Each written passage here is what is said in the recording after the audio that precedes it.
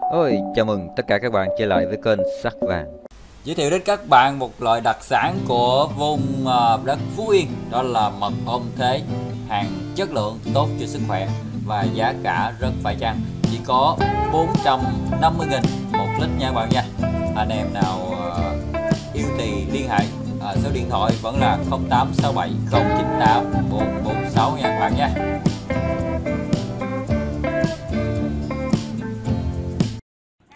Chào các bạn nữa nè ha. Lại là dúi nữa nha các bạn nha. Đây, đây là dúi nữa nè. Đó. Đế thú ha. Đế thú rồi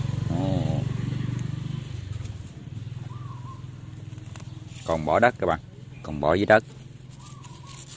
Chưa có ờ, lên chậu. Cho nó thành thục hết đi. Rồi mình lên chậu không muộn nha. Rễ thì chân rễ thì chập bả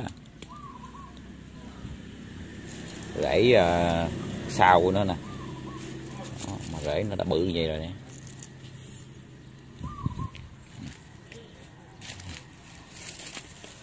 Đây là cái vết hạ vết cắt thời gian ha.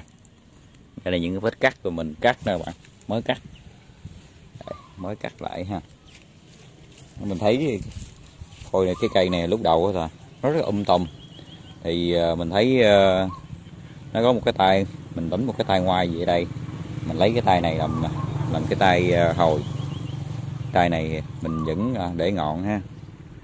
Thì uh, nuôi cái thế này mình thấy nó đã đẹp rồi. À, vô thế rồi các bạn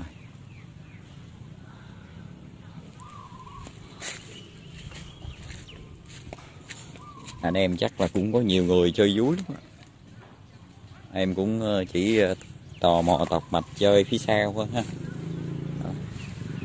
bánh cái cua này rất là đẹp. Cây dúi nó được loại thế rồi anh em sửa rất là dễ luôn.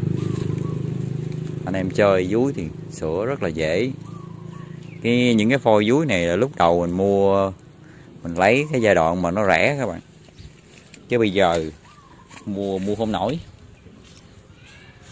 Anh em hét giá cao quá mua không nổi các bạn đơn sơ ha nhưng mà à, đẹp các bạn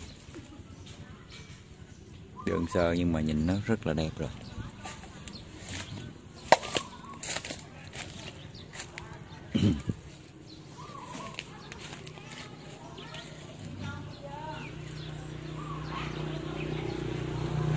Thú à?